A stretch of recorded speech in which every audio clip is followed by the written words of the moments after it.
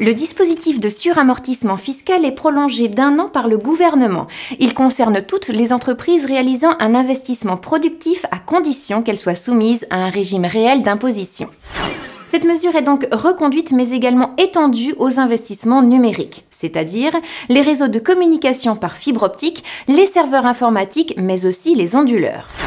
Si vous réalisez un investissement productif éligible, vous pourrez donc bénéficier d'un avantage fiscal qui permet de déduire de votre résultat imposable 40% de la valeur d'origine du bien. La déduction doit être répartie sur la durée d'amortissement de l'investissement de manière linéaire. Si l'on raisonne en termes d'économie d'impôt, pour l'achat d'un équipement d'une valeur de 35 000 euros, l'économie d'impôt atteindra 4 200 euros.